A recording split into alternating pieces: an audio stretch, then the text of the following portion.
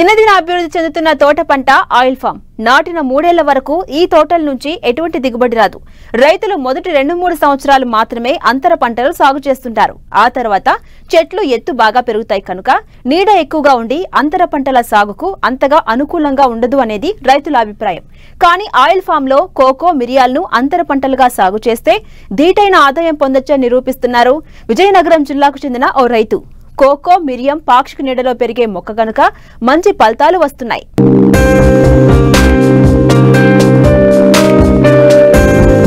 ఇదిగో ఇక్కడ చూడండి ఆయిల్ పామ్ తోట దట్టంగా అడవిలా కనిపిస్తోంది కదూ. ఈ తోట పార్వతీపురం మన్యం జిల్లా గరుగుబిల్లి మండలం సుంకి గ్రామానికి చెందిన రైతు బోళ్ళ సత్యనారాయణది. పంతొమ్మిది వందల తొంభై ఒకటిలో ఐదు ఎకరాల్లో పామాయిల్ మొక్కలను నాటారు. అయితే కొన్నేళ్ళ పాటు సాగు లాభదాయకంగానే ఉన్నా తరువాత పామాయిల్ ధరలు తగ్గడంతో ఉద్యాన అధికారుల సూచనల మేరకు అంతర పంటగా రెండు వేల సంవత్సరంలో కోకో మొక్కలు నాటారు. ఉభయ గోదావరి కోస్తా జిల్లాలో మిరియాల సాగును చూసిన రైతు పామాయిల్ మొక్కలను అనువుగా చేసుకుని మిరియాల మొక్కలను నాటారు. ప్రస్తుతం కోకో మిరియాల పంటపై వచ్చిన ఆదాయాన్ని ప్రధాన పంట అయిన ఆయిల్ పామ్కు పెట్టుబడిగా పెడుతున్నారు. ఆయిల్ పామ్ పై వచ్చినది నికర ఆదాయం అంటున్నారు రైతు. మేము నైంటీ వన్లో ఇక్కడ ఆయిల్ ఫామ్ని మొట్టమొదటి తీసుకొచ్చి పెట్టాం. అప్పుడు నైంటీ వన్ పెట్టింది నైంటీ సిక్స్ నైంటీ సెవెన్ కల్లా ఈల్డింగ్ స్టార్ట్ అయింది. రెండు వేల సంవత్సరం వచ్చేసరికి ఆయిల్ ఫామ్ రేట్లు బాగా తగ్గిపోవడం వల్ల అంతర పంటలుగా కోకోని హార్టికల్చర్ డిపార్ట్మెంట్ రికమెండ్ చేసింది. చేసినప్పుడు రెండు వేల సంవత్సరంలో కోకో తీసుకొచ్చి పెట్టాం.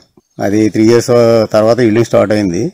కోకో మ్యాక్సిమం ఇప్పుడు ఒక ఎకరానికి ఒక క్వింటాల్కి మించి రావట్లేదు. అయినా సరే ఇప్పుడు కేజీ రెండు వందలు ఉండడం వల్ల ఒక ఇరవై వేల రూపాయల వరకు కోకో మీద వస్తుంది.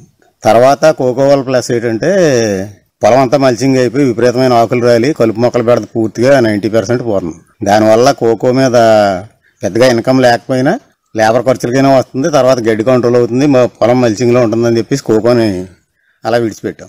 తర్వాత రెండు వేల ఎనిమిది వచ్చేసరికి మరీ ఆయిల్ ఫామ్ మళ్ళీ బాగా లో ప్రైస్కి వెళ్ళిపోయింది. అప్పట్లో ఆయిల్ ఫామ్ తీయడం ఇంక ఇష్టం లేక పెప్పర్ని ఏదో చాలా ఈగా లెక్కేసుకుని పెప్పర్ తెచ్చిపెట్టాం. ఈ మిరియాలు పెట్టి క్రాప్కి వచ్చిన తర్వాత చూస్తే డేటా అయితే చాలా ఎక్కువ ఉంది కానీ మనకి ఇక్కడ కారణం ఏంటో తెలియదు ఒక చెట్టుకి కేజీ నుంచి రెండు కేజీల వరకు. అంటే యావరేజ్న ఒక కేజీ పావు కేజీన్నర వరకు వస్తున్నాయి. ఎకరానికి ఒక డెబ్బై ఎనభై కేజీల వరకు మాత్రమే తీయగలుగుతాం. అయినా సరే దాది కూడా మార్కెట్లో నాలుగు వందలు దాటి ఉంటుంది కాబట్టి దాదాపుగా అది కూడా ఒక ఇరవై వేలు పాతిక వేలు వస్తుంది. అది ఒక ఇరవై ఇది ఒక ఇరవై వేసుకుంటే ఆయిల్ ఫామ్ సాగు ఖర్చులన్నీ పోతున్నాయి. లాస్ట్ త్రీ ఇయర్స్ నుంచి ఆయిల్ ఫామ్ ఒక రేంజ్లో పెరిగిపోవడం వల్ల ఆయిల్ ఫామ్ మీద మంచి బాగా ఇన్కమ్ వస్తుంది. అది ఇది కలిపితే ఈరోజు ఆయిల్ ఫామ్ సాగు అనేది చాలా అత్యధికమైన ఇన్కమ్ వచ్చే పంటగా మారింది. అలాగే మిరియాలకి సంబంధించి ప్రత్యేకంగా వాటర్ పెట్టే సమస్య లేదు. మనం ఆయిల్ ఫామ్ చెట్ల దగ్గర పెట్టిన మైక్రో ఇరిగేషన్ సిస్టమే మిరియాలకు సరిపోతుంది ఎటు వచ్చి మిరియాలు హార్వెస్టింగ్ చేసుకుని వాటిని హాట్ వాటర్ ట్రీట్మెంట్ చేసుకుని వాటిని శుభ్రం చేసి అమ్ముకోవడం వరకు అదొక కొంచెం పని ఉంటుంది. ఈ రెండు వాటి మీద వచ్చే ఇన్కమ్ని ఆయిల్ ఫామ్ ఎరువులకి హార్వెస్టింగ్లకి లిఫ్టింగ్కి కలెక్షన్ సెంటర్కి తీసుకెళ్ళడం ట్రాక్టర్ అద్దెలకి అన్నిటికీ సరిపోతాయి. టన్ను ఇరవై రెండు వేలు ఉండడం వల్ల ఈ ఈ సంవత్సరం ఆయిల్ ఫామ్ మీద వచ్చే డబ్బులు విపరీతంగా ప్రతి రైతుకి కూడా చాలా లాభాలు ఉన్నాయి ఆయిల్ పామ్ దీర్ఘకాలపు పంట. పంట వేసిన మొదటి మూడు సంవత్సరాల వరకు ఫలసాయం ఉండదు. మొక్కలను త్రిభుజాకారపు పద్ధతిలో తొమ్మిది మీటర్ల దూరంతో నాటుతారు. మొక్కల మధ్య మొదటి మూడు సంవత్సరాల కాలంలో ఖాళీ స్థలం ఉంటుంది. నీటి వసతి సమృద్ధిగా ఉన్న ఆయిల్ పామ్ తోటలలోని ఖాళీ స్థలంలో మొదటి మూడేళ్ళ వరకు తరువాత ఎనిమిదేళ్ళ పైబడిన తోటల్లో అంతర పంటలు వేసుకోవచ్చు.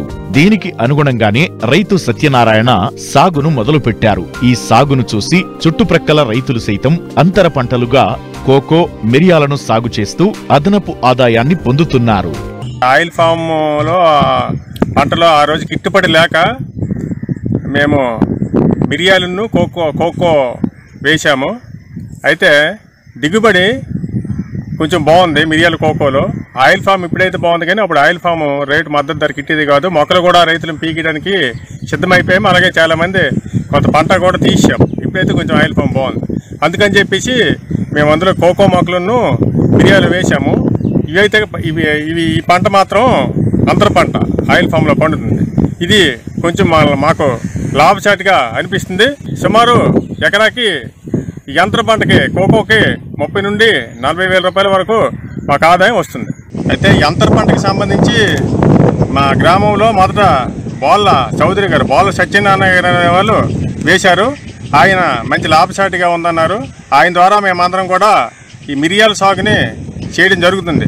ఎందుకంటే మిగతా పంటల కంటే ఈ పంట అంతర పంట మాకు లాభదాయకంగా అనిపిస్తుంది.